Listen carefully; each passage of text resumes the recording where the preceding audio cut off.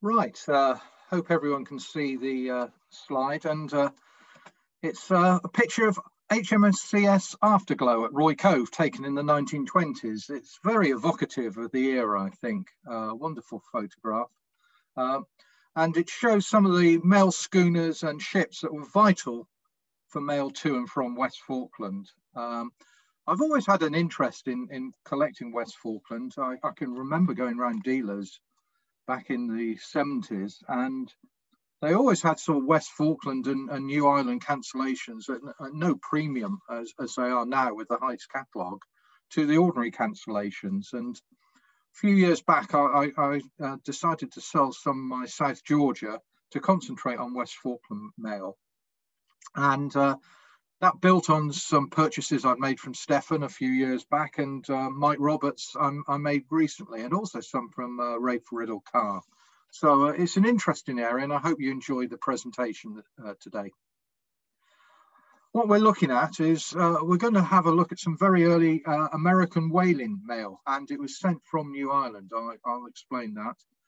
Then we look at a, a short-lived contract for carrying mail between East and West Falkland with Cosmos between 1882 and 1885.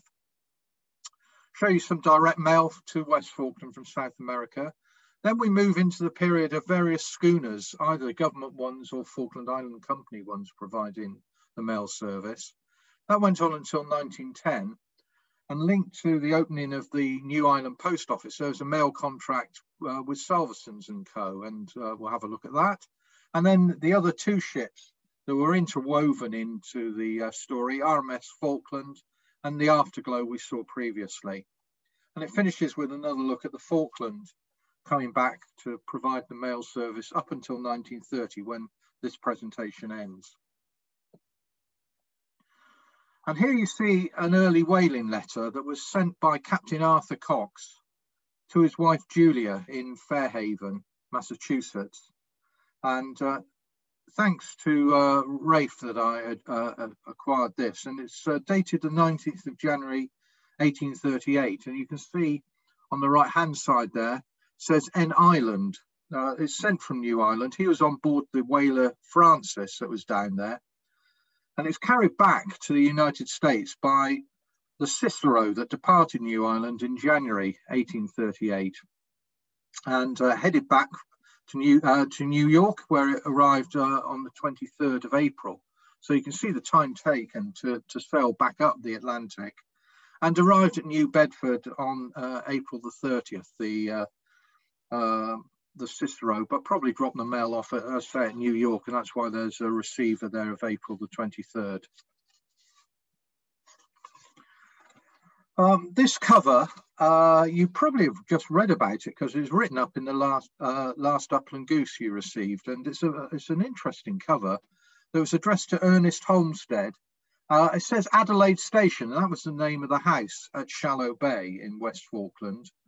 Uh, and Ernest Holmested was very involved with Patagonia. Uh, he sent sheep uh, to and from Patagonia. And this is from Sandy Point, which you know know better as Punta Arenas. And it's from the PSNC agent, Wehrhahn and Co. And it has a cachet on the back, which uh, helps. And we've tracked it down to being sent by the agent there, who's Rodolfo Stubenrauch. And he sent the uh, letter to Holmested and it went, as you can see at the top of the envelope, by favour of Captain Hanson on the schooner Foam. And that's quite a famous uh, yacht that uh, was up in the UK and then sailed down to the Falkland Islands. Uh, and Hanson was the captain of that. And there's a picture there of the foam. Now here's a nice pairing because I, I, talked about the first contract to take mail between East and West Falkland that, that wasn't by sort of favour of, of, captains carrying mail. And Cosmos had got the uh, contract to take the mail to and from Europe to the Falkland Islands. And uh, here they extended the service to do a, a service uh, to take mail, the freight, parcels and passengers between the islands. And uh, they brought down a ship, SS Malvinas, that arrived to carry out this task. It was first registered in September 1882. And here's an example of a letter on a Cosmos agency envelope. And you can see this annotated Per Malvinas. And it's noted Captain Zeeman, who on, on the reverse, and I think he was the first uh, Cosmos agent before Schotfeldt uh, in Stanley for the Cosmos agency. Now, the interesting thing about this is the battle lines were really drawn up with the Falkland Islands Company, who didn't really like Cosmos muscling in on their activity in the islands. And therefore, I think they worked with some of the settlers to make sure that this wasn't a very popular service. And it only lasted until 1885 and wasn't renewed. And the FIC really took over uh, providing the mail service at that time. So local schooners, uh, there wasn't any official mail between the uh, two islands until 1891, and therefore mail was handed to the captains. And these FIC schooners going around off the, the mail service to take mail to West Falkland and from West Falkland. And there's a nice old photo here of a typical FIC schooner. It's the Hornet, owned by the FIC, as you can see annotated at the bottom there. And the other uh, items on this page, there's a 1904 inter-island mail to uh, Chartres uh, that's quite nice. And any inter-island mail between East and West Falkland and vice versa is pretty scarce. You don't see a lot of it. So here's, here's an example here in 1904. And on the left is an item where I suspect the captain cancelled a West Falkland mail that never reached Stanley. It was probably dropped off at one of the other settlements before they got to Stanley. And therefore, to ensure that the stamp was cancelled, who's overwritten Schooner Fair Rosamond, West Falkland, Mail, 8th of October 1898. A nice example of a piece there of, of a cancellation of uh, a schooner mail. Uh, here's uh, some nice inward mail to Ernest Holmested at Shallow Bay again. And it's unusual in it's from Cape Verde and it's a 30 reis postcard rate it's cancelled the 4th of August and it has a Buenos Aires transit uh, cancel of the 27th of August 1887. It arrived in Stanley on September the 5th, 1887, when a FIC boat would have brought it from Montevideo. And it's an unusual route that it took to get to Buenos Aires because at that time, of course, we saw the Cosmos line bringing mail down but uh, they never called at Cape Verde. So this was carried by a Lamport and Holt line that sailed from Liverpool to Buenos Aires, but went via Cape Verde. So it's an unusual item in that respect as well. Here's some inward mail, and this time it's to Port Howard. Uh, the top right, we have a London 1884 envelope. Uh, it was uh, cancelled May the 10th, as you can see in London and it arrived in Stanley on June the 15th uh, when the Cambyses arrived, a Cosmos ship. Uh, it was then probably, we're looking at 1884, so it could well have been carried by Malvinas to Port Howard under the Cosmos uh, contract. Uh, so it could be another example of Malvinas mail, but of course it's not annotated as such. At the bottom right, we have a newspaper wrapper, which is at the one centavo rate but it also has a one centavo stamp added for uplift to foreign rate for newspapers. You can see the address is quite unusual in that it says Fort Howard rather than Port Howard. But uh, it uh, is dated the 5th of February 1888 and it arrived in Stanley on the 16th of February. And on the left hand side there, from Wallingford, we have a cover dated unusually Boxing Day, the 26th of December 1898 and it arrived in, the, uh, in Stanley on the 2nd of February 1899 on board the uh, Cosmos ship Ammon. Uh, so three nice examples there of Port Howard mail. Uh, and something else unusual as well is a bisect cover uh, from West Falkland that originated in West Falkland. It's from uh, Blake at Hill Cove to his partner Holmested in London. So Holmested and Blake ran, ran Hill Cove and Shallow Bay. And you can see on the back, I, have put a, an image there, the back there, which has Blake's, January the 25th, 1891. It's Barton, listing B6 in Malcolm's excellent uh, book on the bisect covers. If you're interested at all in Queen Victoria, that's, that's well worth getting. The other interesting thing about it is that it's surcharge stamps. Um, so they must have either been put on at uh, Stanley Post Office or bought from Stanley Post Office and taken to West Falkland. I suspect they were probably put on at Stanley Post Office and there with a nice uh, uh, cancella uh, court cancellation as well. And there's a picture of Sir Blake and his wife uh, Dora. Uh, and that would have left on the SS Denderah, which left on the 13th of February and arrived in London on the 21st of March, 1891. Now, I mentioned intertwined with the story of the, the schooners was the opening of uh, Fox Bay Post Office. And here's one that came from the Stephen Heijtz collection. And uh, to the left there, you see a notice in the uh, Falkland Islands Gazette of the 8th of May, 1899, saying that the Fox Bay Post Office would open on July the 1st.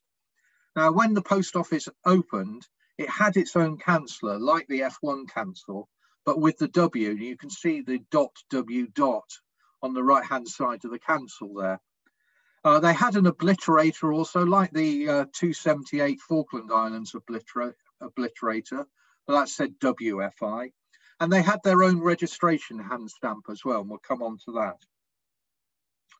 So this is uh, an, uh, uh, an early item from the post office. It's a Queen Victoria postcard, and it was posted November the 25th, 1899. Now, the schooner Chance arrived in Stanley on the 4th of December, and then uh, Modestia left for London on the 12th of December and arrived the 17th of January 1900. So, uh, unfortunately, it was in, in 1900 in January that it arrived, and the message on the back says Merry Christmas from Sarah. So it's a little bit late, but I guess it got there in the end, all the way from West Falkland to London. I mentioned the Fox Bay registration marking, and here's a couple of registered items to Ogg Brothers, and they were mail, oil, uh, mail order drapery in Glasgow. Um, you may well have seen other items to Ogg Brothers as well. On the bottom left, you can see uh, the Crown registered marking at Fox Bay, and it's distinguishable from the uh, Stanley one in that it has a crown, uh, a cross on the top of the crown, which you don't see on the Stanley one. Uh, so that distinguishes the, the fact that that was registered and uh, hand stamped in Fox Bay. And the item on the left pays the penny empire rate plus tuppence registration.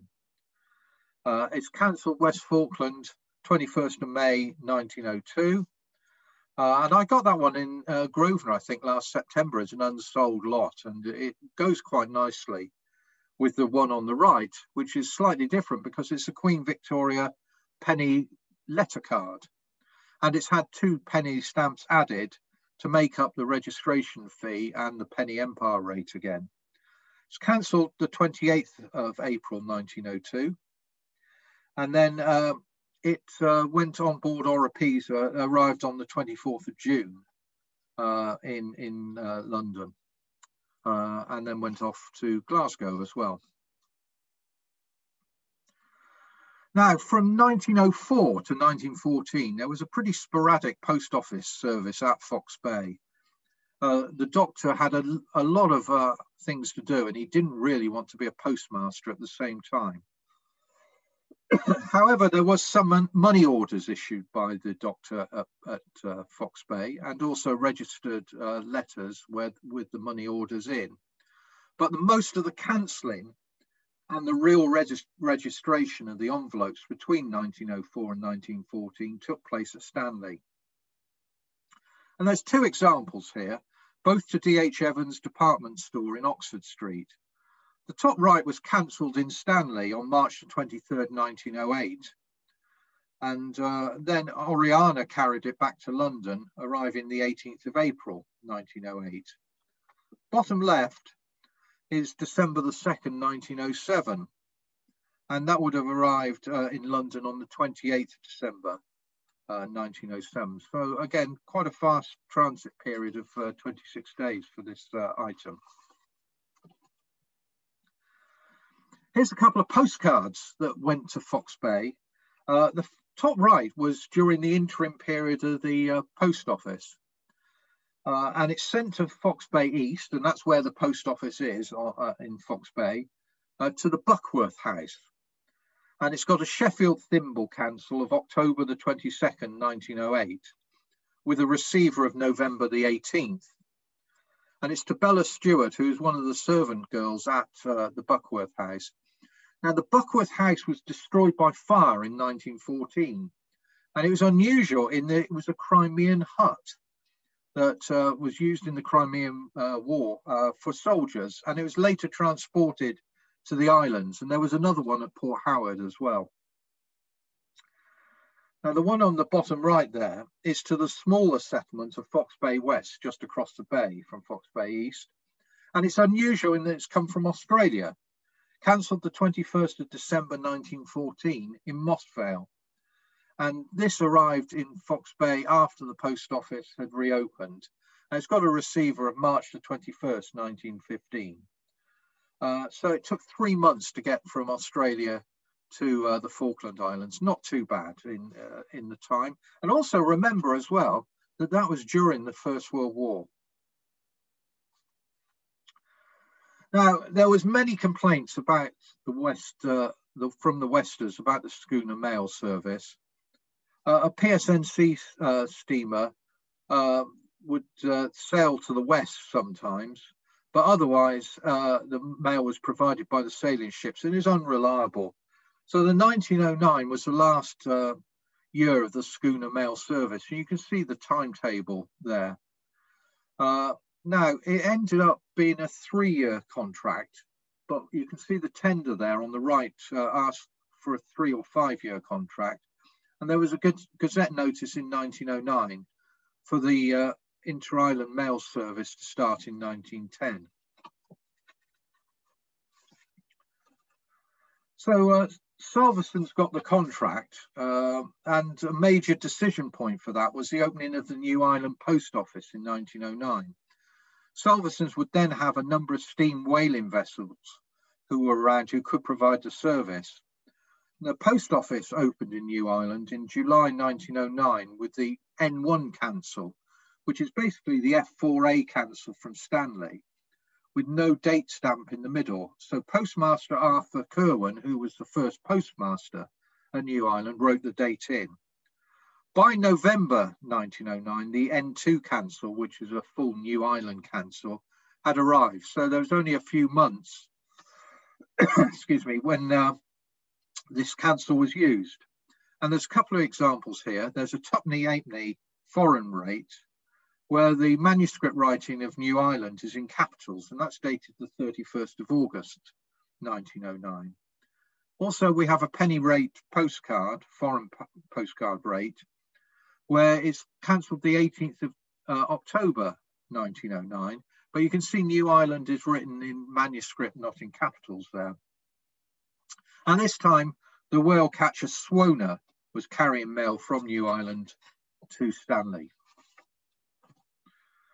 So as I say, Salvesen's got the contract for Inter-Island Mail in 1910, uh, using the whalers or supply steamers the schedule was pretty regular, but you can also see at the bottom there of the schedule on the right hand side, there was a three monthly call at Port Stephens, Port Howard, Hill Cove, and West Point. Otherwise, they'd have to take their mail uh, in the meantime to New Island or to Fox Bay or have a passing schooner pick it up. There's a 1910 example here of a postcard with the new N2 New Island Canceller, cancelled July the 6th, 19, 1910. Now it's an unusual postcard. I need to do some more research on it because it's to an interesting address, which is Iceland. Um, and the whaling station at New Island actually came from Iceland.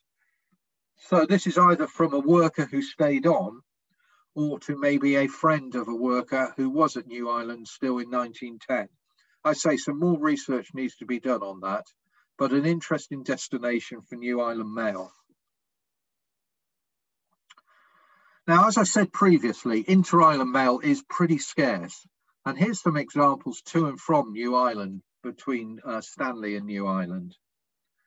Now, the, there's one from Edward Binney, signed EBB at the bottom of the postcard there at the bottom left, to George Scott, and that's from Stanley to New Island. It's got a nice New Island receiver of May the 11th, 1912. The top right one, a little bit soiled, but it's a wonderful postcard, and it's to Thomas Binney, who ran a tailoring and haberdashery store in Stanley. And it's from uh, Tom, uh, and it's dated 3rd of November 1915. And the message says, make up a suit for that chap, dark preferred. Hang on to mine at present. And the rest of the postcard goes into electrical rewiring, probably for uh, the house here.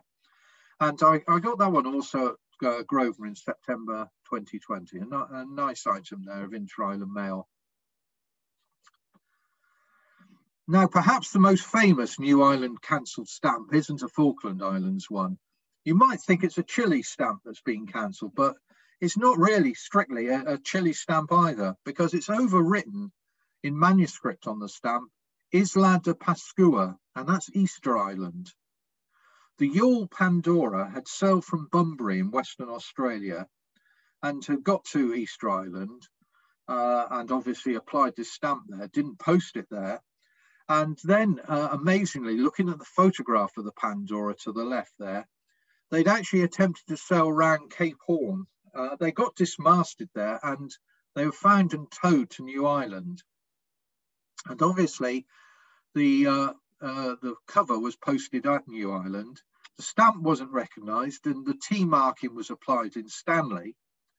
And then a further tuppence to pay was applied in London with the FB foreign branch cachet uh, as part of the canceller there. Now, the story about the Pandora is, is rather sad. As I said, they'd set uh, all the way from uh, Western Australia. They got all the way to New York. Uh, and then, unfortunately, they set sail for the UK and it, they got lost. The yacht was uh, uh, sunk and lives lost between New York and London. So that's what happened to the uh, yawl Pandora. Under the Salvesen contract, uh, a boat RMS Columbus arrived to provide the mail service uh, between Stanley, Fox Bay, New Island, and the other settlements. Uh, she arrived on the 1st of April 1911 from Buenos Aires. And just to give you some size, she, uh, idea of size, she had a crew of 14 and was 168 tons. Uh, no covers are known from the Columbus, but there is uh, a cancel that's on pieces and uh, you can see it's posted on board RMS Columbus. Now, actually, the Columbus provided uh, a pretty unreliable service, and in August 1913, she was taken out of service due to a boiler having issues. And Hanker, uh, a whaler, was used instead to provide the mail service. So this cancellation here is the 23rd of October 1913, and the Hanker would have carried that rather than Columbus because she was in dry dock at the time. Eventually, the Columbus provided uh, proved so unreliable, she was towed to England by the factory ship Neko in April 1914. There she was repaired and renamed Risby and lasted all the way until 1926 when she foundered in the North Sea carrying a, car uh, a cargo of herrings. So an unusual fishy end for the Columbus. Following on from the Columbus was the RMS Falkland, and again, no covers are known uh, with the RMS Falkland uh, cancellation. But she was purchased by the FIC to co cover the local mail contract. They took over from the Salvesens contract. She arrived on the 5th of February 1914 and started with a trip to Port Howard on the 19th. And she was captained by Captain Sarnham, who also captained the Columbus. And the old Columbus Canceller uh, was used again, the oval cancel, but the ship name of Columbus was filed out. And then in addition, they added a straight line RMS Falkland cancel as well, which was used. Now to get the complete combination of the Oval Cancel and RMS Falkland, you really need to get a piece to get a complete cancel.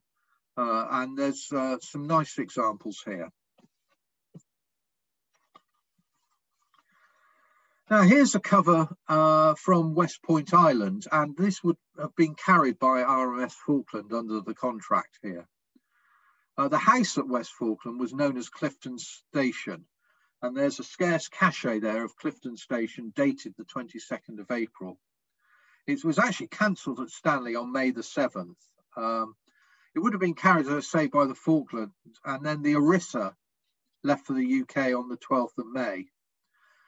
Now, the sender of this was uh, pictured there on the bottom left, uh, Arthur Felton, who lived at West Point Island. He was a superb naturalist, and many of you may have heard the name if you collect the flowers set, because the five shilling carries Felton's flower on the five shilling issue. So many uh, naturalists visited West Point Island uh, when they were down there, and Felton obviously had a lot of correspondence with uh, various people. And here you can see it's going to uh, Cambridge, Massachusetts. Now this again is carried by the Falklands. I, I particularly like this ex, uh, example. Came from the Peter Cottis sale. It was probably the number one item I wanted to get from that because besides being inter-island mail, it's also on a registered envelope and uh, it, it's uh, registered mail, which is nice. Um, it's again to T Binney that we mentioned earlier, and it says haberdashery millinery store. And uh, again, it's cancelled this time by the Fox Bay Canceller on the 2nd of September 1915. And if I'm writing up these covers, it's often nice if you can find an advert, if it's addressed to a, a shop or a, a, mail order business. And here was a, an advert from 1915 uh, for T&N Binney uh, tailors uh, at uh, Stanley. And uh, you can read that there. Now, when we got to 1922, uh, a ship Afterglow arrived as a sealing protection this vessel. And it was an Admiralty drifter that had been registered in the UK. And she'd sailed down, probably towed alongside a whaler to, to the islands and uh, she came on board to uh, be a sealing protection vessel and carry the inter-island mail. Three types of cancel have been seen, and the one you're probably most familiar with is the one in the middle there, the oval HMCS Afterglow cancel.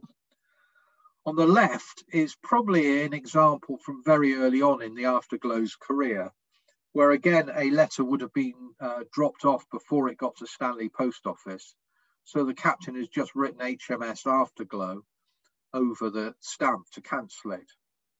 So it would have been settlement mail that never reached Stanley. On the right hand side, there was also a straight line cancel HOCS Afterglow. And here it's unusual, it's on a sixpenny stamp. So in January 1923, the government formalised the gunner of the Afterglow being the mail officer. Now, the reason it was the gunner was the captain himself had too much to do on arriving at a settlement.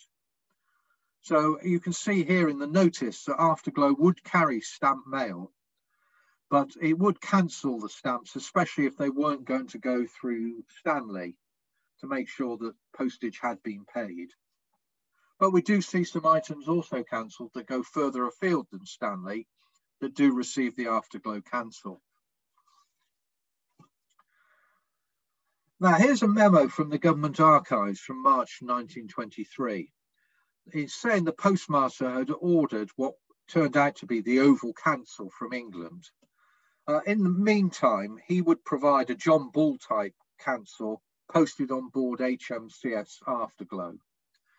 And here's the only known cover that still exists uh, to Bleaker Island uh, to Arthur Cobb there, and probably posted uh, from West Falkland. So it received the cancel and then dropped off at Bleaker Island, so never got to Stanley. And uh, talking of uh, famous naturalists, like we had Felton earlier, Cobb was a, an expert on birds as well. And of course, Cobb's wren is named after him. So here's the, here's the cover, sent at the penny local rate.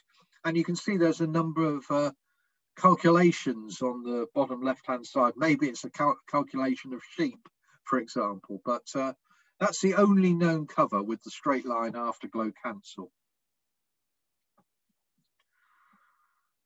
Now, here's the design for the cancel sent to uh, the GPO in London uh, by Craigie Halkett.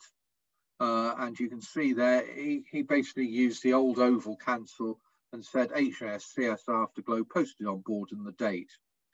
And there's a memo there also dated the 7th of July 1923, stating that this oval cancel had arrived and attached to it is the first impression. You can see the clean impression there of the Afterglow cancel the 7th of July.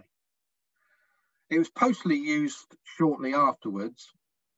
The first date we've got in our listing is the 29th of July 1923 on a pair of war stamp pennies.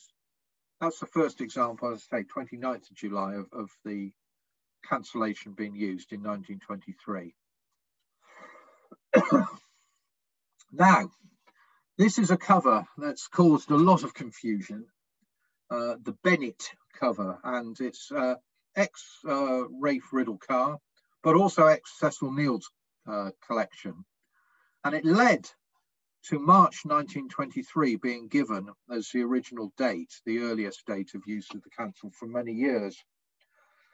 Now, I, th I think having seen all the information from the slide above, we know it the cancel didn't arrive until July 1923. So I think what we're looking at here is a deformed five or six uh, that looks like a three, and uh, the reason why this March uh, date uh, was was used, but it's definitely July, the first use of the uh, uh, Afterglow oval cancel. Interesting as well on the Bennett cover here, you can see it's actually unstamped. whether it's government business or not, we won't know, but it didn't receive a stamp, was still cancelled by the Afterglow. Now, one question is there isn't uh, a huge number of local or commercial afterglow covers. There are some for collectors. now, did this come about due to the dealer Charles Davis? He was advertising in March uh, 20, 1923 here in the Falkland Islands Monthly Journal, uh, advertising buying used and unused postage stamps. I wonder if that explains the number of afterglow pieces that we see, especially those in 1923. And here's some 1923 examples, and why there are so few covers around that time, because people were basically cutting off the stamps and selling them to Charles Davis. And it's interesting also, later on, you start to see Charles Davis covers as well. Maybe once he realized that there was this new cancellation, he was uh, speaking to his uh, friends in the Falkland Islands and getting some covers sent to him as well with the Afterglow uh, cancel. This means empire and local rate covers are pretty scarce, uh, but I'm going to show you a couple of empire covers. As they did go through Stanley Post Office, they could have received a cancel in Stanley, but they were posted on the Afterglow and were cancelled there and didn't then receive a further uh, Stanley cancellation. But uh, as I said previously, it's nice to show some of these covers uh, with an advert alongside. And there's a Barratt and Co. Limited advert from the 1920s. I think it's January 1926 uh, to match the uh, cover. And it's the foot shape works in Northampton. That cover came from Feldman, I believe, in, in 2018 but a penny empire rate being uh, cancelled uh, by being paid rather by a penny stamp there. Another example, this time the penny empire rate is paid by a couple of halfpenny stamps and it's to Groves and Lindley at Lion Buildings, Huddersfield. And they made uh, made to measure suits uh, through mail order. As you can see in their advert, says overseas men's requirements specially studied. So I suspect what happened was you sent your order with your uh, details and back came a suit uh, to the colony. This is a February 1924 example. Uh, as I say, the two halfpennies paying the rate. And that again is from the Peter Cottis sale of last year.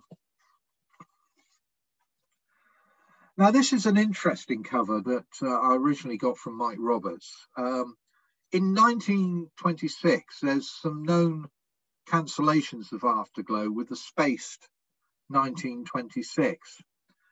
Cecil Neild wrote about these and said he thought they were spurious and unauthorized and were backdated cancels done later on.